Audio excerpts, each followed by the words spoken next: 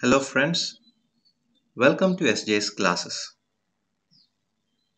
At the very outset, let me thank all those who have joined this online venture.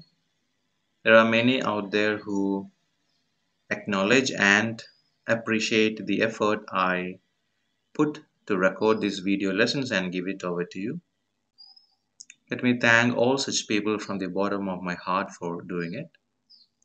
Today we will read a one act play. The play is titled The Never Never Nest and it's written by Cedric Mount. I went through many websites, literary pieces, scholarly articles to give you information on this particular playwright, but, but I found it quite strange that I could hardly get any. But still, I managed to get a few for you. Let me just share it with you. Cedric Mount is a notable playwright of the 20th century. Some of his contributions to English literature are works like 20th Century Lullaby, To Cut a Long Short Story Short, and Nature Abhors a Vacuum. His one-act plays are very easy to be performed and is satirical, witty, and insightful. Most of these one-act plays expose the shams. Shams means things which are fake, counterfeit aspects. So most of his one-act plays expose the shams of contemporary society, just like the one that we are about to read now. Let me also introduce to you the one-act play that we are about to read. This play is a comedy about a young knave couple, Jack and Jill, who believe in buying things in installments. It is believed that the play is written against the background of the Great Depression of the 1920s, which gripped the world, continued through years, and wrecked many industries and businesses and the lives of people throughout the world. Jack and Jill are believers of the buy now, pay later philosophy and buys each and every luxury of life on installments and live cheerfully without being aware of the fact that they would be struggling under the burden of debt in the near future. The playwright Cedric Mount, through this play, satirizes people's addiction for buying things in installments. He feels that such couples would make a nest easily, but they will never settle happily. The double negative in the title conveys this impossibility of realizing a dream home of such people. So that is about the playwright and the play.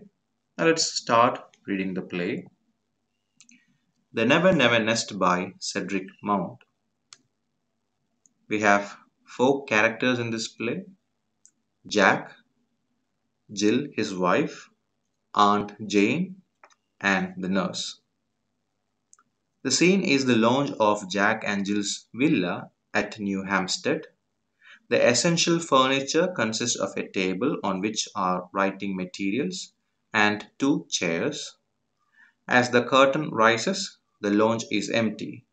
But Jack Jill come immediately, followed by Aunt Jane. So we have four characters in this play, and the setting of the play is the launch of Jack and Jill's villa and when the curtain rises we don't have anybody on the stage but Jack Jill immediately comes onto the stage followed by Aunt Jane. Let's read the play. Jill, and this is the launch. Aunt Jane, charming, charming, such a cozy little room and such pretty furniture. Jack, he says this very modestly, we like it, you know, Handy place to sit in and listen to the radiogram. Handy place means a convenient space. And radiogram is a piece of furniture that combines both radio and a record player. Aunt Jane. Oh, have you got a radiogram as well? As a car and a piano? Why, of course, Aunt Jane. You simply must have a radio set nowadays. This is what Jack responds to her, you know, uh, a question filled with curiosity that they have a radiogram, a car, as well as a piano. Jill, and it's so nice for me when Jack is away at business. I even make him move it into the kitchen. It here refers to the radiogram. It into the kitchen so that I can listen to it while I cook. Jack says, Sit down, Aunt Jane. You must be tired, and we have shown you everything now. Jill, what do you think of our little nest, Aunt Jane? Aunt Jane says, I think it's wonderful, my dears. The furniture, and the car, and the piano, and the refrigerator, and the radio. What is it? It's wonderful, really wonderful. Jack says, and we owe it all to you. Aunt Jane, yes, Jack, that is what is worrying me. Jack, worrying you, Aunt Jane? So Jack doesn't really understand why, you know, these luxury that they have, you know, actually worries Aunt Jane. Let's see why it worries her. Aunt Jane says, Yes, that check I gave you for your wedding present. It was only 200 pounds, wasn't it? I didn't put 2000 by mistake. Jill says, Why, no, Aunt Jane. What on earth made you think that? Aunt Jane. She feels a bit relieved. Well, that's all right, but I still don't altogether understand. This house, it's very lovely, but doesn't it cost a great deal for rent? Jack says, Rent? Oh no, we don't pay rent. Aunt Jane, but Jack, if you don't pay rent, you will get turned out into the street, and that would never do. You have Jill and the baby to think of now, you know. Jack, no, no, Aunt Jane, you misunderstood me. We don't pay rent because the house is ours. Aunt Jane is shocked to hear that and she says, Yours? Jill, why, yes. You just pay ten pounds and it's yours. Jill, sorry, Jack. You see, Aunt Jane, we realized how uneconomic it is to go on paying rent year after year when you can buy and enjoy a home of your own for ten pounds and a few quarterly payments, of course. So here we get the idea that you know they have purchased the house on installments. They paid 10 pounds in the beginning and they had to make or they have to make a few quarterly payments. And Jack says, Why be Mr. Tenant when you can be Mr. Owner? Aunt Jane, I see. Yes, there is something in that. Even so, you must be getting on very well to keep up a place like this. Jill, oh, he is, Aunt Jane. Why, only last year he had a five shilling shilling rise. Now, shilling is uh, the English currency. Uh, 20 shillings make a pound. Didn't you, Jack? Jack, of course, that was nothing really. I am expecting 10 this Christmas. Aunt Jane, suddenly, Jack, I have just thought of something. That car, is it yours? Jill, of course it is ours. Aunt Jane, all yours? Jack, well, no, not exactly all. Aunt Jane, how much of it? Jill, oh, I should say the steering wheel and uh, one of the tires and about two of the cylinders. But don't you see? That's the wonderful thing about it. Aunt Jane, I don't see anything wonderful about it.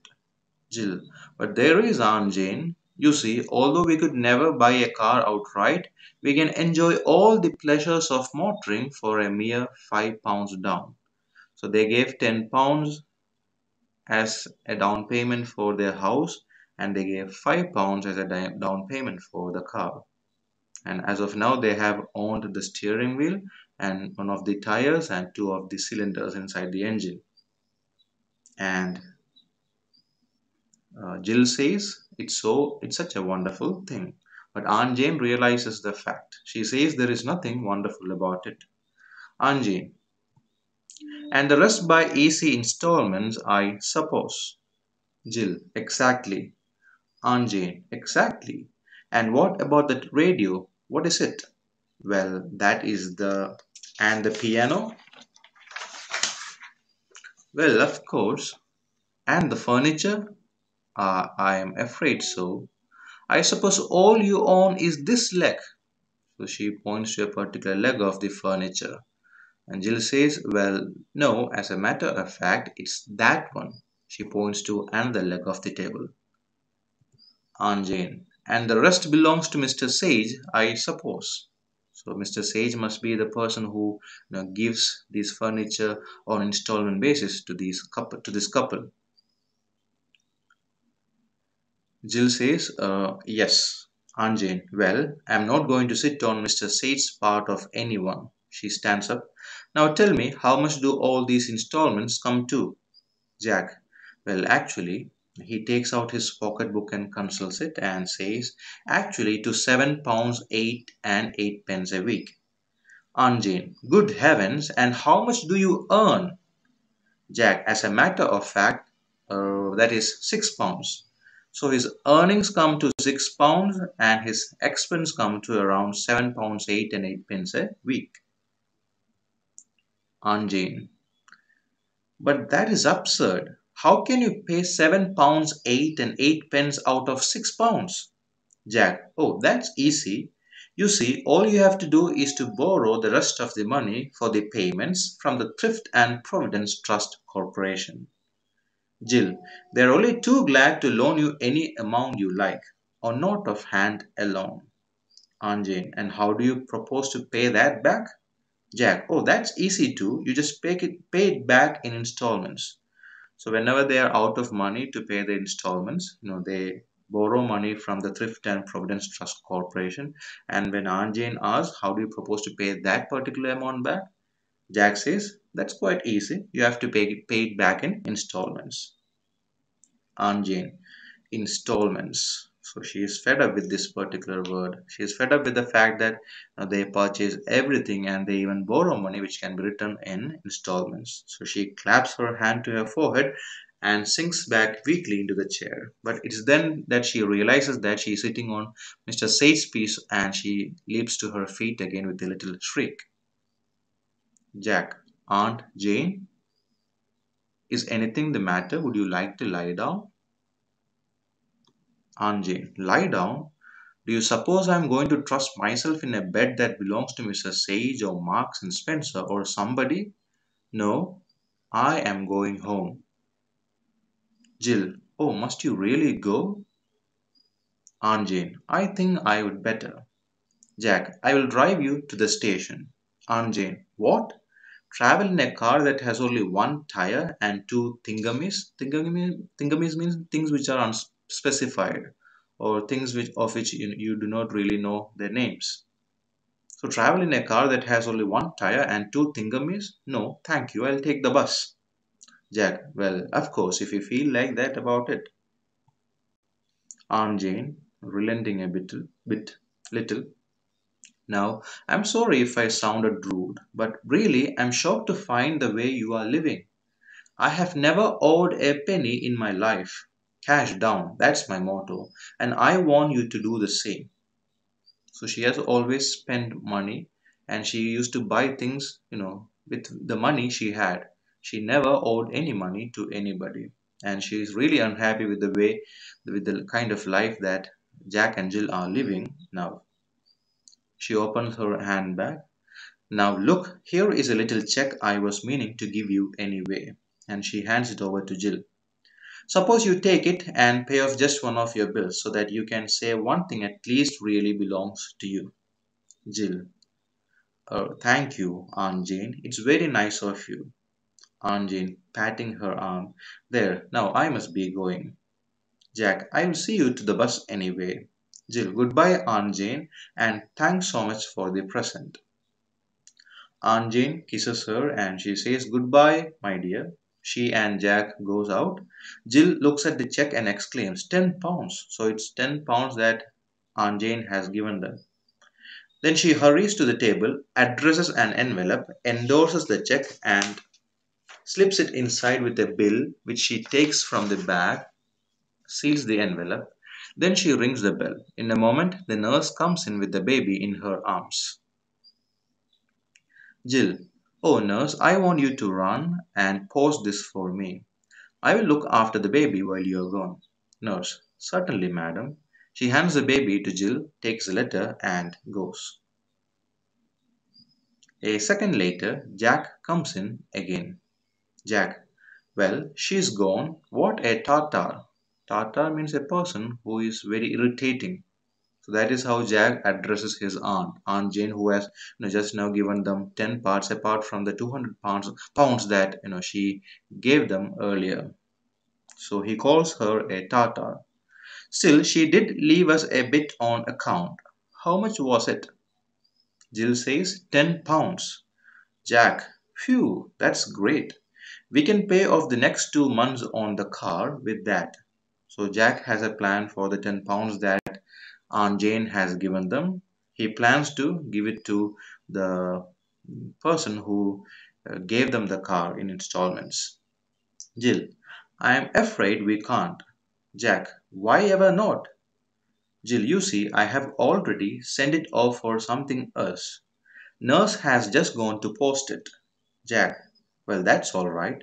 Who have you sent it to? Jill, Dr. Martin.